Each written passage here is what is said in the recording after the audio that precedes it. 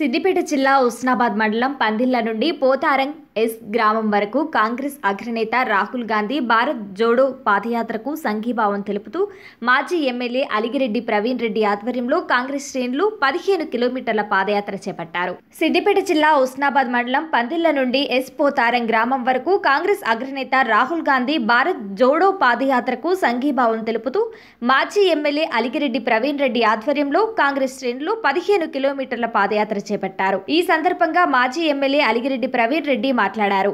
దాదాపు పన్నెండు రాష్ట్రాలు మరి యాత్ర చేసుకుంటూ పోవడం జరుగుతూ ఉన్నదని కూడా మీతో మనిషి ఈ యాత్ర ఎందుకు చేపట్టు జరిగిందన్నది కూడా మీ అందరి దృష్టికి తీసుకొస్తా ఉన్నాం. ఈరోజు ఇప్పుడున్న ప్రభుత్వం గత ఎనిమిది సంవత్సరాల నుంచి ఏదైతే బీజేపీ ప్రభుత్వం కేంద్రంలో ఉన్నదో మరి వారు మరి ఇతర రాష్ట్రాలను విభజించడు కానీ మతాలు విభజించడు కానీ పార్టీలు విభజించడు కానీ ఆ విధంగా చేసి ఈరోజు మత శక్తులను కూడా విభజించడు కానీ మతాలను కూడా విభజించడు కానీ ఈ విధంగా చేసి ఈరోజు మరి భారతదేశాన్ని ఇదివరకు స్వతంత్రం వచ్చిన తర్వాత ఒక అభిప్రాయంతో దాదాపు మనము ఏదైతే అరవై సంవత్సరాలు ఇరవై చేసుకొని వస్తే గత ఎనిమిది సంవత్సరాల నుంచి వీరు వచ్చిన తర్వాత ఎన్నో తీర్ల వారు విభజించి ఆ విధిగా పాలించడం జరుగుతూ ఉన్నది.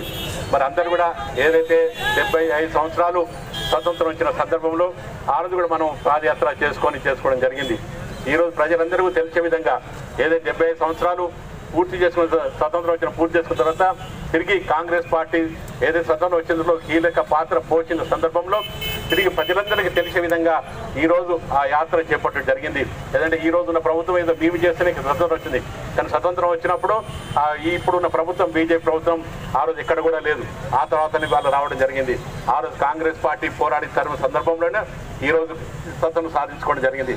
ఈ రోజు ఏకతాటి మీద ఈ రోజు మనం భారతదేశం నడుచుకుంటూ వస్తే వీరంతకనే ఎక్కడికక్కడే విభజించి పాలించిన సందర్భంలో తిరిగి రాహుల్ గాంధీ గారు మరి ఏదైతే మరి ఇదివరకు పూర్వ అధ్యక్షులుగా మరి సోనియా గాంధీ నాయకత్వంలో కాంగ్రెస్ పార్టీ తరఫున ఈరోజు పాదయాత్ర చేపట్టడం జరుగుతూ ఉన్నదని కూడా మీ దృష్టి మరి దేశం అంటే భారతదేశం ఒకటే ఒక దేశం ఒకటే అనుకొని ఈరోజు పాదయాత్ర చేపట్టి మనందరూ కూడా ఏకపాక్షిగా ఉండి ఏకతాటిగా ఉండి మతాలు కావచ్చు కులాలు కావచ్చు రాష్ట్రాలు కావచ్చు అందరూ కూడా ఒక అభిప్రాయంతో ఉండి మరి దేశాన్ని ముందుకు తీసుకొచ్చిన విధంగా చేసుకునే కోసం ఈరోజు ఈ యాత్ర చేపట్టడం జరిగింది.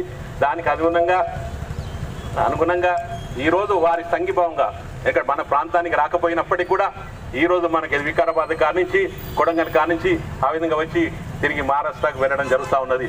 మరి ఆ విధంగా సంఘీభావం తెలిపే విధంగా ప్రజలందరూ చైతన్యపరిచే విధంగా ఈ సంఘీభావం కోసం మన పాదయాత్ర ఈరోజు హుస్నాబాద్ బట్లో మరి ఏదైతే పన్నీల నుంచి మొదలు పెట్టుకొని పోతారం ఈశ్వర్ కూడా ఈ యాత్ర చేపట్టడం జరుగుతుంది.